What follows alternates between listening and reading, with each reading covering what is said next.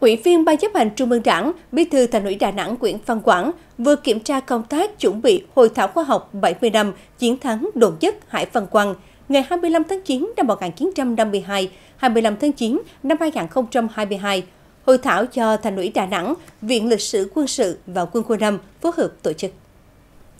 Hội thảo sẽ diễn ra vào sáng mai, ngày 23 tháng 9 tại Trung tâm Hành chính thành phố Đà Nẵng. Nghe báo cáo về công tác tổ chức hội thảo, Bí thư Thành ủy Nguyễn Văn Quảng đánh giá công tác chuẩn bị cơ bản ổn định, đảm bảo theo kế hoạch đề ra. Nhấn mạnh tầm quan trọng của hội thảo khoa học 70 năm chiến thắng đồn chất Hải Văn Quang là dấu ấn lịch sử, kinh nghiệm về xây dựng thế trận chiến tranh nhân dân. Bí thư Thành ủy yêu cầu Viện Lịch sử Quân sự và Quân khu 5 phối hợp với Thành ủy Đà Nẵng chuẩn bị kỹ nội dung tham luận, đảm bảo các trang thiết bị phục vụ hội thảo, sắp xếp, bố trí đại biểu ngồi vị trí phù hợp, đảm bảo công tác an ninh, an toàn và phải rà soát, kiểm tra kỹ lưỡng tất cả mọi việc trước hội thảo để đảm bảo hội thảo được diễn ra thông suốt, thành công.